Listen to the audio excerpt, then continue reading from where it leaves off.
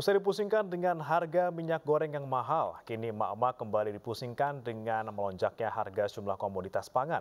Tak tanggung-tanggung, harga cabai dan juga bawang merah naik hingga dua kali lipat.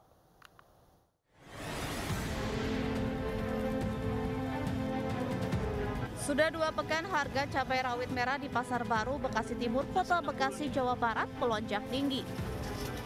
Bahkan hingga Rabu pagi, harga cabai rawit merah yang biasanya dijual Rp60.000 ini dijual hingga Rp100.000 per kilogramnya.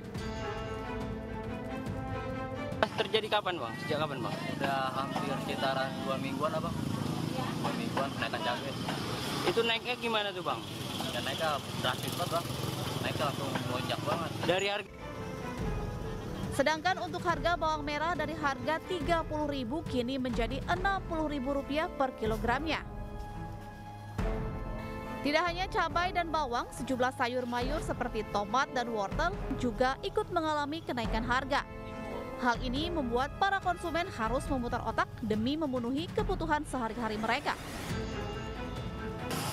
Ya gimana ya, saya ya buat saya ya gini juga lah keberatan juga ya namanya buat sehari-hari.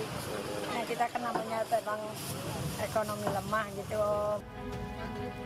Guna menghindari kerugian karena sepi pembeli dan busuk akibat lama tidak terjual, para pedagang menjual dagangannya secara eceran dengan harga Rp5.000 per plastik.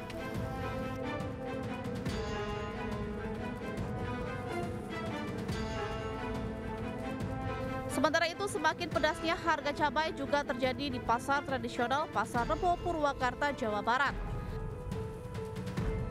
Kenaikan harga cabai rawit merah sudah terjadi dua kali dalam kurun waktu sepekan. Jika sebelumnya harga cabai rawit merah berada di kisaran Rp32 hingga Rp40.000 per kilogram, kini naik hingga Rp100.000 per kilogram. Diduga kenaikan harga disebabkan pasokan dari petani yang sedikit akibat cuaca buruk. Uh, biasanya faktor penyebabnya itu ya mungkin hujan kali ya, mungkin musim hujan. Yang keduanya menjelang lebaran haji biasanya. Sayuran, Sayuran pada mahal sekarang. Hmm. Cabai rawit mahal 100 ribu sekilo, cabai rawit, cabai merah 80 90 sekilo.